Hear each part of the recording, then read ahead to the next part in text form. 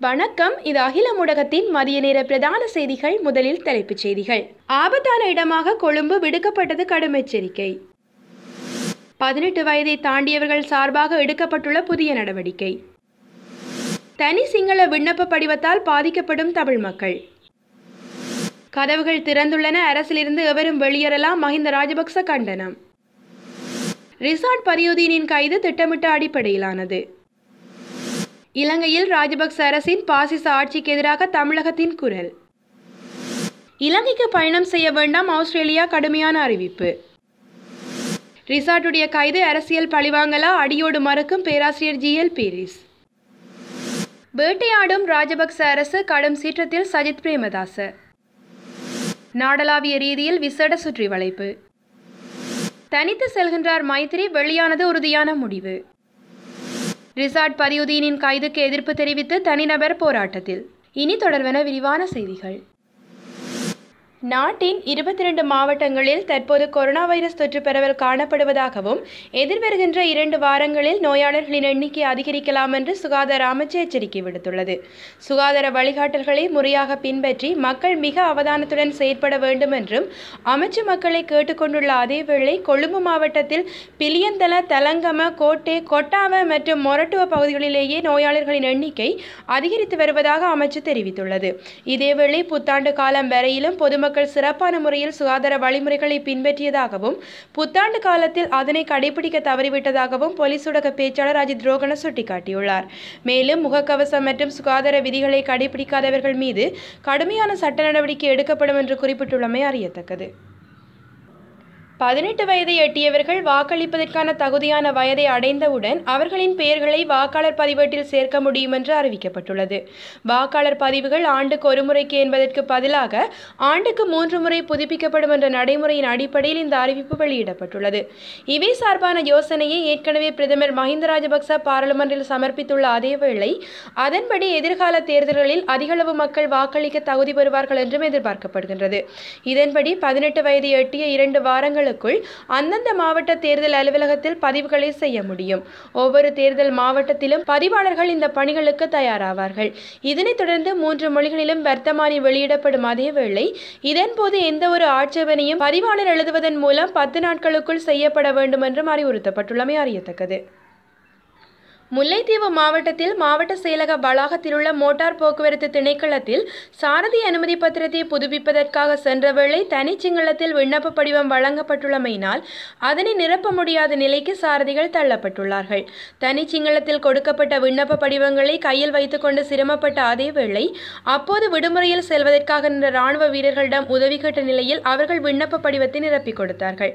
முல்லைத்தீவு மாவட்டத்தில் நீண்ட தூரங்களில் இருந்து அரசு சேவையினை பெற்றுக்கொள்வதற்காக மோட்டார் போக்குவரத்து திணைக்களத்துக்கு வருகை தரும் மக்கள் மொழி பிரச்சனையால் பல சிரமங்களை எதிர்கொண்டு வருவதாக தெரிவிக்கப்பட்டுள்ளது. இதனை சம்பந்தப்பட்ட அதிகாரிகள் கவனத்தில் எடுத்து அரசு சேவையினை மக்கள் இலகுவாக பெற்றுக் கொடுக்க ஆவண செய்ய வேண்டும் என்று அவர்கள் கோரிக்கை விடுத்தமை அறியத்தக்கது. அரசு முன்னெடுக்கும் வேலை திட்டங்களை விமர்சிக்கும் நபர்கள் அரசிலிருந்து வெளியேறி தமது செயற்பாடுகளை முன்னெடுக்க முடியும் என பிரதமர் மஹிந்த ராஜபக்ச ஆளும் கட்சி உறுப்பினர்களிடம் இன்றைய தினம் தெரிவித்துள்ளார். அரசிலிருந்து வெளியேற நினைப்பவர்களுக்காக கதவுகள் திறந்துள்ளன என குறிப்பிட்ட அவர் இதன்போது மேலும் தெரிவிக்கையில் அரசாக எடுக்கும் தீர்மானங்கள் சகலரையும் சார்ந்ததாகும். அரசுக்குள் இருந்து கொண்டு அரசை விமர்சிப்பது ஏற்றுக்கொள்ளக்கூடிய விடயம் அல்ல அரசை விமர்சிக்கும் ஜனநாயக உரிமை சகலருக்கும் உள்ளது. எனினும் ஆட்சியாளர்கள் அல்லது ஆளும் கட்சிக்குள் உள்ள அமைச்சர் அமைச்சர்கள் உறுப்பினர்கள் என்போர் அரசை மோசமாக விமர்சித்து நெருக்கடிகளை ஏற்படுத்துவதால் ஆட்சியை கொண்டு செல்ல கடினமாக அமையும் என்றும் சுட்டிக்காட்டியுள்ளார். இதேவேளை அரசிலிருந்து வெளியேற நினைப்பவர்களுக்கு கதவுகள் எப்போதும் திறந்தே இருக்கும். அவர்கள் வெளியில் சென்று தங்களுடைய விமர்சனங்களை முன்வைக்க முடியும் என்றும் பிரதமர் மஹிந்த ராஜபக்ச அவர்கள் காட்டம் வெளியிட்டுள்ளமை அறியத்தக்கது.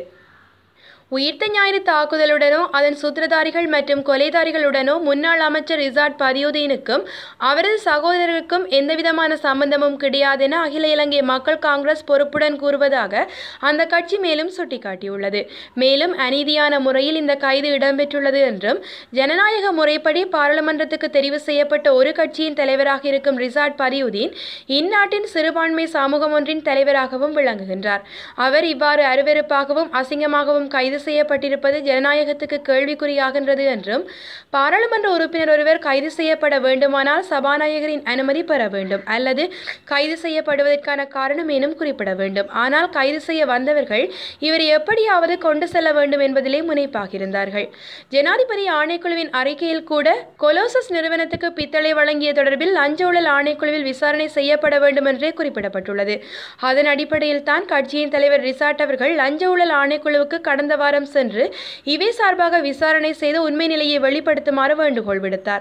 மேலும் கடந்த காலத்தில் பாராளுமன்ற தெரிவுக்குழுவில் ரிசார்ட் பதியுதீனுக்கு ஈஸ்டர் தாக்குதலுக்கும் எந்த சார்பும் இல்லை என தெரிவிக்கப்பட்டது. அப்போதைய பதில் போலீஸ் மா அதிபரும் தற்போதைய போலீஸ் மா அதிபருமான சி டி விக்ரமரத்னவை இவ்வாறு எழுத்து மூலம் தெரிவித்ததாக அவர்கள் மேலும் சுட்டிக்காட்டியுள்ளமை அறியத்தக்கது. இலங்கையை ஆளும் ராஜபக்ச தலைமையிலான ஸ்ரீலங்கா பொதுஜன முன்னணி கட்சி சிறுபான்மை முஸ்லிம்கள் மற்றும் தமிழர்களை ஒடுக்கும் ஒரு பாசிச அரசாங்கமாக செயற்பட்டு வருகின்றது என தமிழகத்தின் மனிதநேய மக்கள் கட்சி தெரிவித்துள்ளது. அகில இலங்கை மக்கள் காங்கிரசின் தலைவர் பாராளுமன்ற உறுப்பினர் ரிசார்ட் பதியுதீன் கைது தொடர்பாக மனிதநேய மக்கள் கட்சி தலைவர் பேராசிரியர் எம். எச். ஹிவாஹிருல்லா வெளியிட்டுள்ள ஊடக அறிக்கையிலேயே இந்த விடயம் தெரிவிக்கப்பட்டுள்ளது. இலங்கையில் உயிர்த்த ஞாயிறு தின தாக்குதலுடன் தொடர்புபடுத்தி அரசு தடை செய்துள்ள முஸ்லிம் அமைப்புகளில் பெரும்பாலானவை பயங்கரவாதத்துக்கு எதிராக தொடர்ந்து மக்களிடையே பரப்புரை செய்தவை.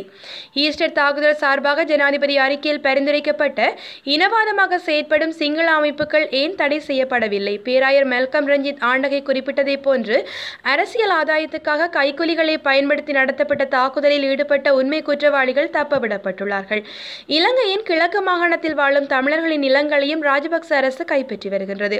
முதலில் இந்திய வம்சாவளி தமிழர்கள் அடுத்து ஈழத்தமிழர்கள் இப்போது முஸ்லிம்கள் என அடுத்தடுத்து குறிவைத்து சிங்கள இனவாத அதிகார வர்க்கம் தாக்கி வருகின்றது. இலங்கை அரசு சிறுபான்மை விரோத போக்கை கைவிட வேண்டும் என்றும் அவர்கள் கேட்டுக்கொண்டுள்ளமை அறியத்தக்கது. இலங்கைக்கு பயணம் செய்ய வேண்டாம் என்று ஆஸ்திரேலியா தன்னுடைய குடிமக்களுக்கு அறிவுறுத்தியுள்ளது. கொரோனா வைரஸ் சார்பாக இலங்கை தற்போது ஆபத்தான கட்டத்தில் இருப்பதால் இலங்கைக்கான தனது பயண ஆலோசனைகளை ஆஸ்திரேலியா புதுப்பித்துள்ளது. இதன்படி கோவிட் நைன்டீன் தொற்று நோயால் ஏற்படும் உடல்நல அபாயங்கள் மற்றும் உலகளாவிய பயணத்துக்கு குறிப்பிடத்தக்க கட்டுப்பாடுகள் காரணமாக இலங்கைக்கு பயணம் செய்ய வேண்டாம் என ஆஸ்திரேலிய வெளியுறவு மற்றும் வர்த்தகத்துறை தெரிவித்துள்ளமை அறியத்தக்கது. ரிசார்ட் பதியுதீனும் அவருடைய சகோதரரும் கைது செய்யப்பட்டமைக்கு எவ்விதமான அரசியல் தொடர்பும் இல்லை. இது அரசியல் பழிவாங்கல் நடவடிக்கையும் அல்ல சட்டம் தன்னுடைய கடமையை செய்யும் என ஸ்ரீலங்கா பொதுஜன முன்னணியின் தவிசாளரும் அமைச்சருமான பேராசிரியர் ஜி. எல். பீரிஸ் தெரிவித்துள்ளார். இந்த நடவடிக்கைக்கும் அரசுக்கும் எவ்வித தொடர்பும் இல்லை என்றும் இது அரசியல் பழிவாங்கல் அல்ல. எதிர்க்கட்சியும் முஸ்லிம் அரசியல்வாதிகளும் ரிசார்ட் மற்றும் அவரது சகோதரரின் கைது சார்பாக அரசு மீது வீண்பழி சுமத்துகின்றார்கள். சட்டம் தன்னுடைய கடமையை செய்யும் இதில் அரசின் தலையீடு இருக்கவே மாட்டாது என்பதை நாங்கள் கவனத்தில் கொள்ள வேண்டும் என்றும் ஆனால் உயிர்த்த ஞாயிறு தின தாக்குதலுடன் தொடர்புடைய அனைவரும் கைது செய்யப்பட வேண்டும் என்றும் ஜி. எல். பீரிஸ் மேலும் குறிப்பிட்டுள்ளமை அறியத்தக்கது. இதேவேளை குற்றவாளிகள் பாரபட்சமின்றி தண்டிக்கப்பட வேண்டும் நீதி கிடைக்க வேண்டும் என எதிர்பார்க்கின்ற பாதிக்கப்பட்ட மக்களுடைய கோரிக்கைகள் சட்ட நடவடிக்கைகள் ஊடாக நிறைவேற்றியே தீரும் இதில் அரசு உறுதியாக காணப்படுகின்றதாக அவர் மேலும் சுட்டிக்காட்டியுள்ளமை அறியத்தக்கது. நாட்டு மக்களுக்கு கொரோனா தடுப்பூசி வழங்க முடியாத அரசாங்கம் எதிர்க்கட்சி உறுப்பினர்களை வேட்டையாடி கைது செய்து வருவதாக எதிர்க்கட்சித் தலைவர் சஜித் பிரேமதாச குற்றம் சாட்டியுள்ளார்.